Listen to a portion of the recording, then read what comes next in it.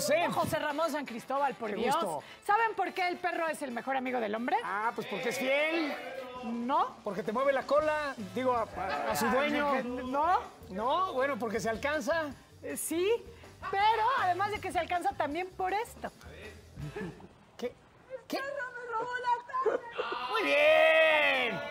Señorita. Sí. Oiga, damita, ¿dónde anda usted dejando la héroe sin capa, me cae bien este perro. Además, ve, lo está destrozando. ¿Pero no, dónde dejó la tanga la señora? no va a haber manera de que se vuelva a poner eso. Le está haciendo pedazos el perro. Y mira, no deja que lo agarre. ¡Se va! ¡Corre, perro! ¡No lo devuelves nunca! Oye, me encantó su perrito, ¿eh? Ajá. Está peludito y bonito y juguetón. Muy bien, Sí, sí, quien sea sí, que sea el dueño. Oigan, ¿le pueden poner otra vez el video al señor Estaca porque no vio bien el perro? Ah, es que me distrajeron los cocotes. Ahí está. Sí, sí, los cocos y las tortas que se ve que preparan en el puesto de allá hasta atrás, sí, que no se alcanza a ver. Oye, pero esa playa está muy sucia. Sí, lo que pasa es que es una playa con algas, algas blancas, sea, algas tersas. Con algas tersas, Algas, de esas ricas, así Sí, redonditas. sí, sí, de las que- Sargazo le dicen. Sargazo. Sí, bueno, y de hecho esa playa es una reserva ecológica. No me digas. Sí, es la reserva del pez on. Es, el pez on es un pez japonés que cuando hace mucho frío se le para tantitito la naricita y dan ganas de hacerle así, uy, qué pezoncito tan bonito. Y digo, ¿este qué pezón? ¿Ya acabaste? Ya. Oigan, ¿y el dueño del perro por qué no hacía nada? Claro que sí, estaba hacía? haciéndole el favor a la humanidad de documentar eso en su teléfono. Muy bien, bravo perro, bravo dueño. Es verdad, Pero bueno, ¿en qué verdad. importa? Hemos descubierto una gran incógnita Es verdad. que había preocupado a investigadores de todo el mundo. Al fin conoceremos por qué los papás que se salen por cigarros y nunca regresan hacen lo que hacen. Y es por hijos como este. Pues mi mamá me dijo que le eche jabón a la lavadora. No sé para qué ¡Estúpido! Pues ahí le estoy echando. Mire, váyase preparando, señora. Su hijo va a vivir con usted hasta que pueda valerse por sí mismo. O, O sea, sea, sí. nunca. Ahí va a estar siempre. ¿eh? Está bueno. Este video está bueno para una campaña publicitaria llamada Hubiera usado condón. Exacto. Bueno, después le dijeron, hijo, haz la cama. Y fue por clavos, por tablas y un martillo. E hizo una estilo Luis XV. O sea, para algunas cosas sí es bueno el Sí, es muchacho. verdad. Depende Y- del humor del que esté. Y luego su mamá le dijo que le dejaba dinero para la comida y se comió los billetes. Sí, se los comió hecho rollito. Pero bueno, el otro día se vistió de smoking para ¿Por la qué? graduación de sus lentes. O sea, es muy mamuco el escuincle, Y la hubieras visto la porquería que hizo cuando lo mandaron a almidonar las sábanas. Ah, bueno, hablemos ahora del presidente de los Estados Unidos, Sí. que algunos groseramente conocen como el cheto gigante. Sí, y que además dicen que, que es famoso por ser racista, Sí. misógeno, Sí. este, misógino, eh, y no sé qué tantas otras cosas más, ignorante. Ignorante, unas cosas horribles Bueno, dicen de él. Y todo esto, pues, porque no es caballeroso con su esposa y, y no la pela. ¿Quieren ver? Miren. Vean. Bueno, aquí tenemos al presidente Donald Trump. Sucedió esto en la visita de Estado del presidente de la República Checa. Ahí Ahí está. está la primera dama de Checoslovaquia y su esposa Melania. Ellos dos se voltean. Sí, y las dejan ahí.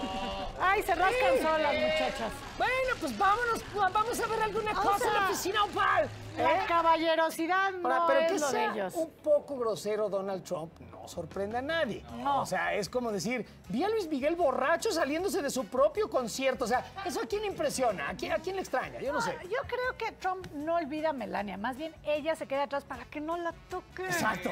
Ahora, Verónica, si tú fueras Melania, o sea, si tú fueras la primera dama y estuvieras casada con Donald Trump, ¿qué le harías a Donald? Yo le haría el fuchi. Ay, fuchi. Creo que todas las Ay, mujeres le hacen el fuchi. Pero bueno, fuchi. la siguiente nota tiene contenido erótico. Ah, sí, me, me regreso. Incluye sensuales tangas y cuerpos casi desnudos. Uf, Así abra que- por favor bien sus ojos y sobre todo su mente. Y también sus mente. valores. Mire, Mirá, tiene una tanga de mamá. dice, el hombre que usted ve ahí viste de esta manera porque está protestando por un grupo de travestis que él dice ofrecen servicios sexuales en la zona que está cerca de su casa. La autoridad no hace nada y por eso él le reclama a la policía. Pues sí. También son cómplices el jefe de policía. Ok. También es cómplice el jefe de policía. Ah, quizás sí. Y todo que deja Ándale. ¿Sabes qué?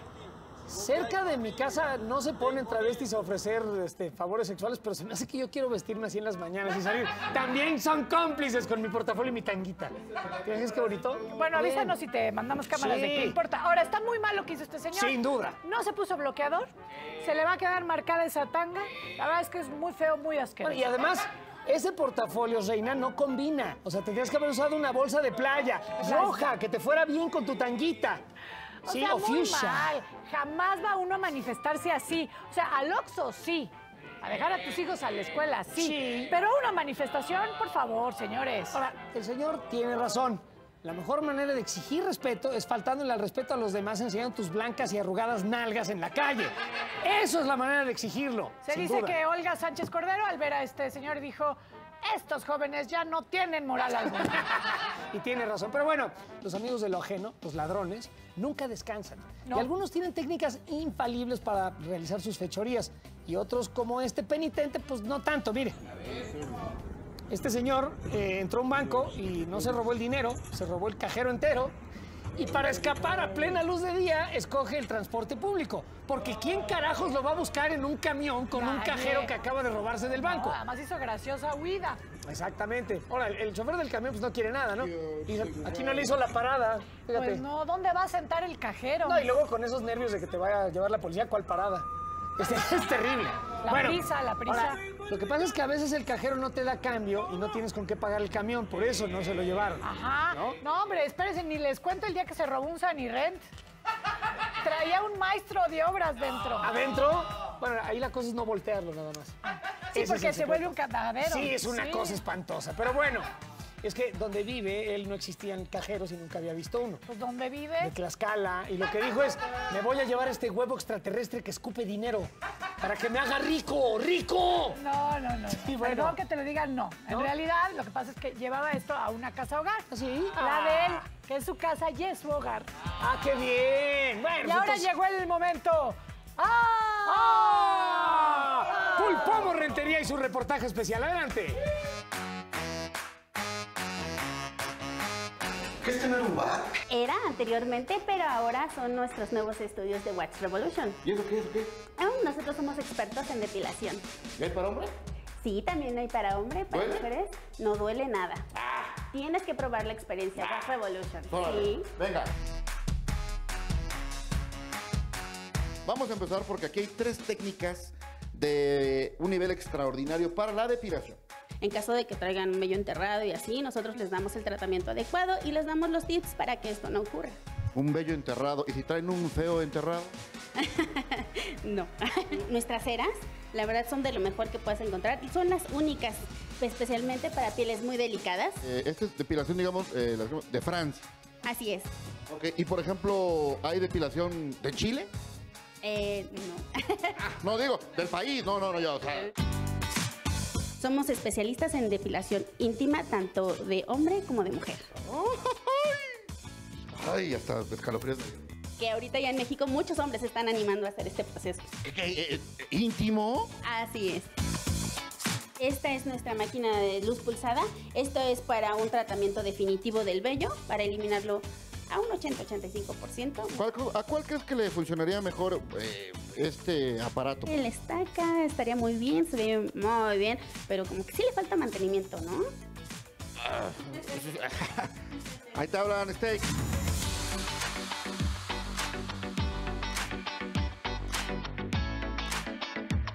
Muy bien. Listo. ¿Ya? ¿Ya? ¿Ya, chiquito? Así es, eso es todo. Hombre, gracias.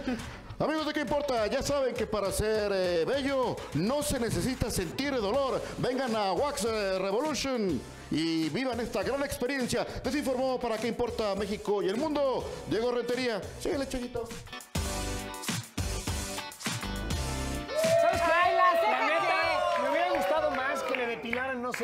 Logotipo de la América en la barriga con los cera. O ya las ingles para probar qué tan Exacto, hombre un brasileño, Tú no Sofía. estás enojado porque te dijeron que te hace falta mantenimiento. Sí, sí me hace falta. Lo que pasa sí es te que hace el manscaping hacia el sur Ya es como que, como Él que viene haciendo falta. él es más bien como de Woodstock. Sí, efectivamente. Yo dejo que el pelo vuele libre. Sí, sí, sí.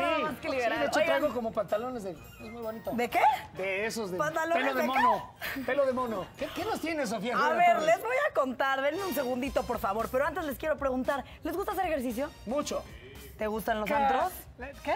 Los antros. Los antros. No, hijita, ya no estoy en edad. Bueno, ¿y qué dirían si les digo que pueden hacer ejercicio pero sentir que están en un antro? Ah, o sea, ¿puedo hacer ejercicio bebiendo? Eh, no, ¡Perfecto! también. Puedes, mole. pero por lo pronto yo me fui a hacer esto y vamos a ver. A ver. ¿Qué onda amigos de qué importa? Es hora de ponernos a sudar, así que vamos a entrar a esta clase de business. Acompáñenme.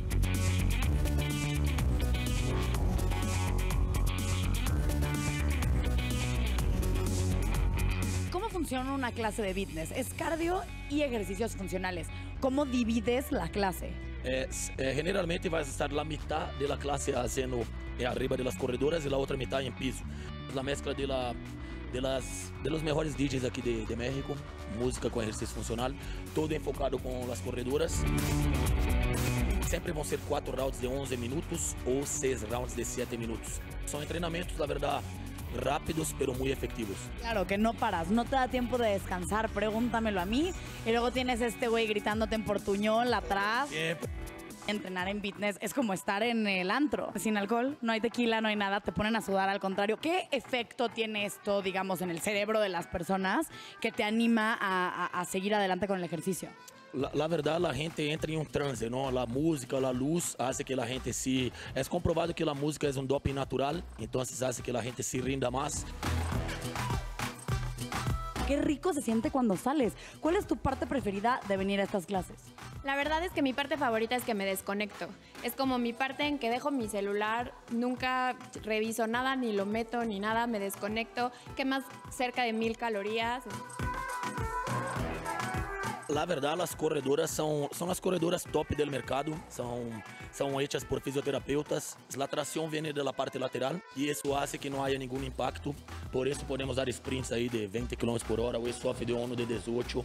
Felicidades, isso aí é essa, show.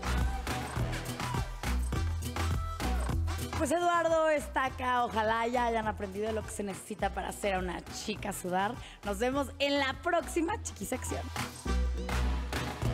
Muy bien, Sofía. Las, escurri- y ejercicio. las escurridoras, dijo. Las escurridoras, ¿no lo viste? Imagínate Eso escuchaste porque el que hambre tiene. Eh, en escurridoras piensa. Efectivamente, gracias Sofía. Rivera Torres. Y ahora ustedes no se vayan porque aquí en ¿Qué importa? les tenemos un final feliz, delicioso. Les tenemos opciones de lo que va a pasar aquí.